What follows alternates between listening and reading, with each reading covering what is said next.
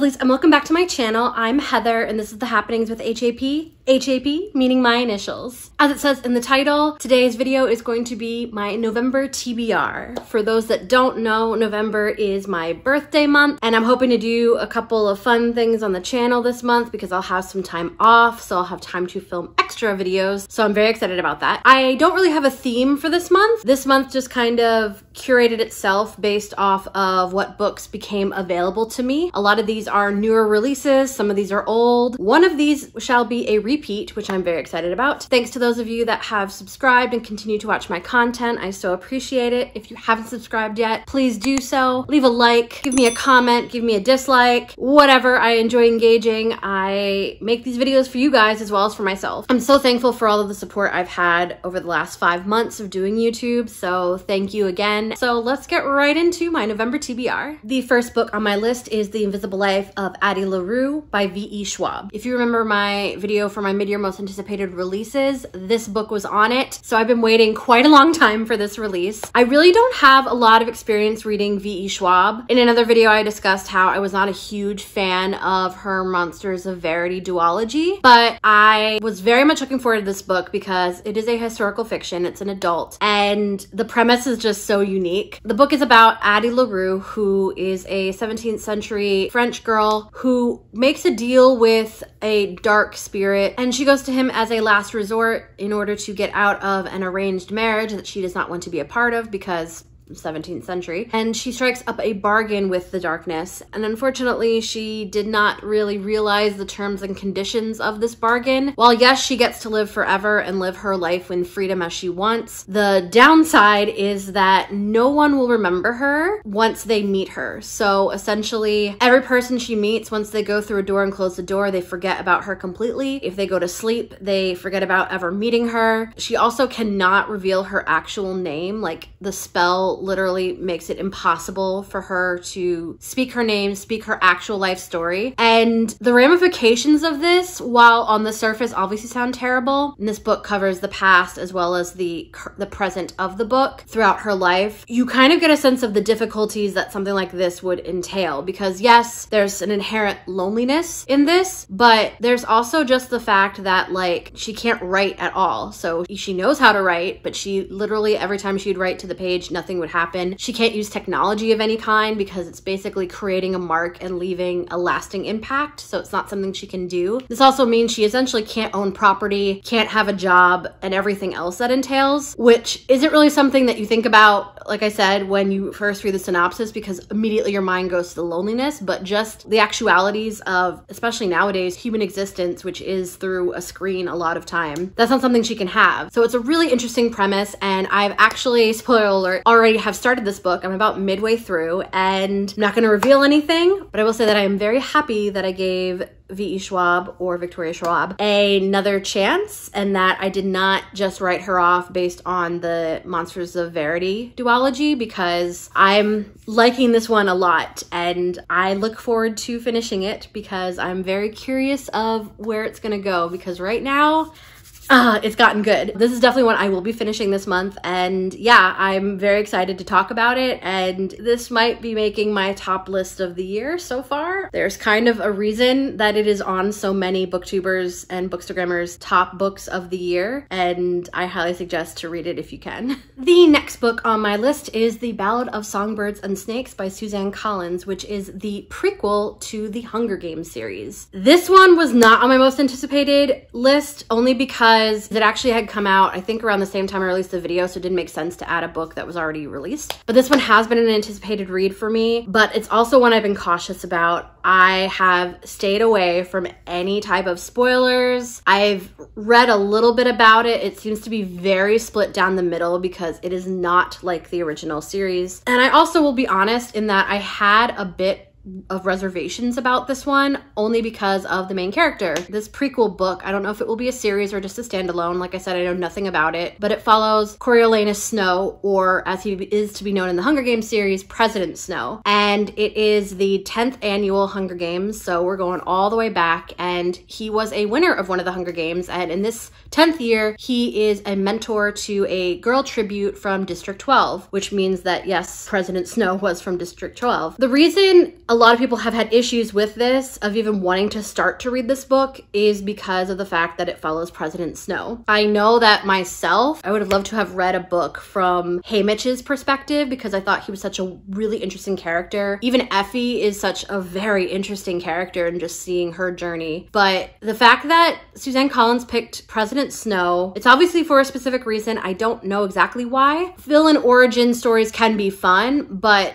there just seems to be no redeeming qualities about him at all in the Hunger Games. Even President Coin a bit has more redeemable qualities, I would I would argue. So it was a very interesting choice. Yes, it's young adult, but this one skews a bit more towards adult from what little I've read of criticism and reviews about it. Like I said, I've not read spoilers, but just that it it very much reads different. Suzanne Collins is her first release post Hunger Games, and the Hunger Games was released in 2008. So that's 12 years ago. That's a long time to go on a hiatus without writing anything. And then your first book back is going to be a prequel to an international best-selling series. It's definitely a risk. Another reason that I really wanted to read it, I've read I read the first series in book format, but this one I actually will be doing the audiobook and I am not ashamed to admit the reason I am doing the audiobook for this one is because it is narrated by my voice love Santino Fontana. And basically, I will read nearly every book he does an audio narration for because I just there's something about his voice that I just really like. It's interesting that he will be voicing, which I'm assuming this book will be in the first person, via Snow's point of view. And considering he made Joe Goldberg in You very engaging and a character you actually root for, I'm thinking it would probably work with Snow as well. So I'm actually interested in reading it via audiobook for that reason to see if it will affect how I feel about Snow or not. Because let's face it, Snow has to have all the help he can get. I know that they released the name, his first first name in the Hunger Games series, but after having seen the play Coriolanus, it's interesting that his name is Coriolanus because in the play, it's a Shakespearean tragedy about a Roman general who actually existed, who was a great military leader, but actually was hated by a lot of the populace when he came back because he just kind of had like a runaway mouth. He ends up getting involved in a plot which kills him. President Snow's journey is not too dissimilar, so I'm guessing this will be the height of what gets him to be present eventually. So I'm going to be reading it through that lens as well because I'm assuming that Suzanne Collins named him Coriolanus for a reason. So that's really interesting. I'm definitely excited to read this one. I think I'm going to like it in a different type of way than what I than how I enjoyed the Hunger Games and I'm very much looking forward to that. We shall see how I feel about that one.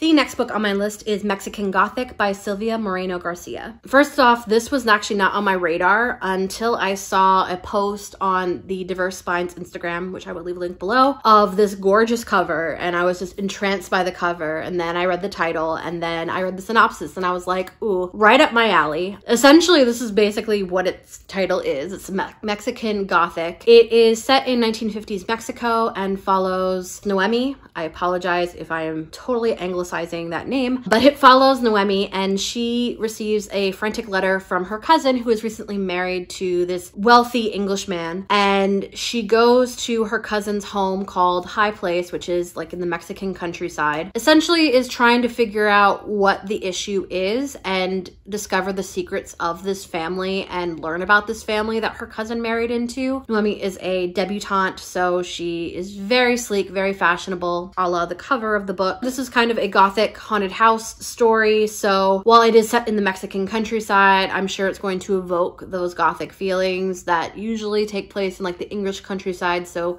someplace very remote but beautiful, but has a lot of history with a family with a lot of secrets. It's definitely a mystery, but I'm not sure how that's gonna play out. I'm really interested in this one. It's something different and it's gotten pretty good reviews so far. It's me holding on to the very last of the spooky season before we get into like Christmas time. And Silvia Moreno Garcia is Mexican, so this is an Own Voices novel. So I'm really excited about that. I hope it's as good and as creepy and scary as I'm picturing it in my mind. I'm also not very well versed on like 1950s Mexico. I'm sure that it is in that time period for a specific reason, so I'm really looking forward to the historical fiction aspect of this novel too, because we know I love historical fiction a lot.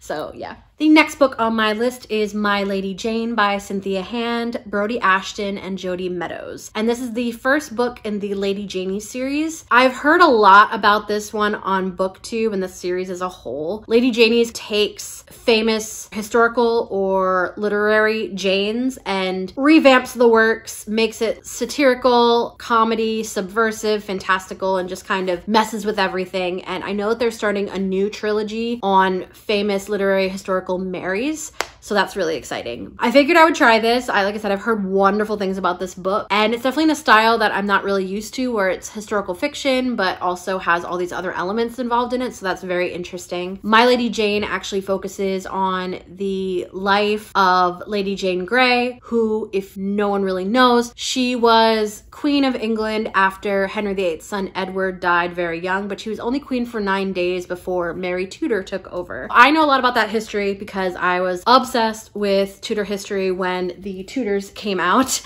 This is a story that I know about, so I think that going into it, the fact that I do know about the source material will make it a bit more entertaining for me. I would assume that if you're trying to read this one, you probably should get a little bit up on the source material and just history, just so that you understand what's going on. I'm excited to read this because I've just heard so much about it, and it's been like on my TBR on Goodreads for a long time, a few years, and it's like, okay, it's about time I finally actually read it. So we shall see how I like it. It's gonna be definitely, like I said, a different style for me, but I love me some historical fiction, so you know, I have to.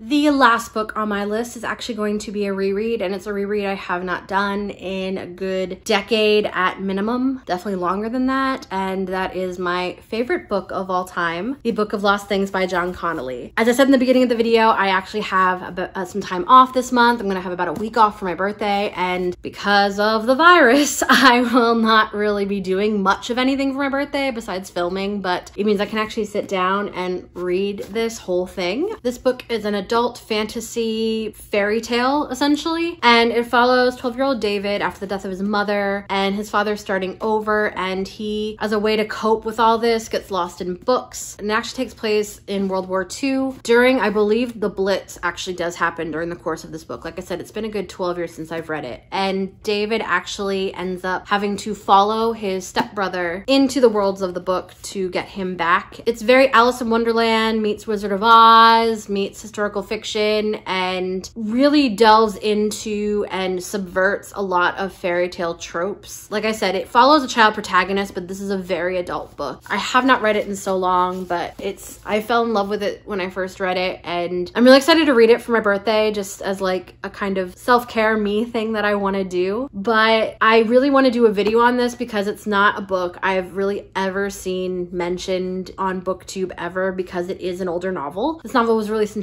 2006 six, so it's 14 years old. The world is quite different from when I first read it. I'm different from when I first read it. I was still only like 20 years old, so it's really gonna be like coming home a little bit and just seeing how I feel about it, reading it, you know, a decade and a half later. Very excited about this one, and like I said, I wanna do an entire video review just on this book, just because it's a book that I feel no one talks about, and this is actually one I will be taking notes with as I read it, because I've already read it, so yeah, so that I can give you guys the best review I can give, because I understand sometimes my reviews are all over the place just because there's so much I want to talk about and I don't remember everything and there's not enough time. But this one I want to basically treat as lovingly as possible because I want more people to read this and it's a book I recommend to literally everyone that ever asked for book recommendations from me. I will have recommended this book to you. But yes, I absolutely love this book so much.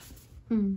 And that is my November TBR. Kept it pretty small this month, mostly because I'm gonna be having that week off, so I'm not gonna be commuting as much, so I won't be doing audiobooks as much, but we'll be reading a physical book that's gonna take me slightly longer, so I wanted to keep it at a doable amount. I may add more to this as the month goes on, depending on how quickly I read other books, but right now I think that seems to be a doable list for this month. Have you read any of these books? Do you guys have any books that you think I might be interested based on this TBR? Let me know in the comments down below. I always love chatting with you guys. I hope you guys have an incredible incredible November. I know I will. I'm very excited for this month. Very anxiety inducing, but also very excited. Anyway, I hope you guys enjoyed this video a lot and I will see you in my next video.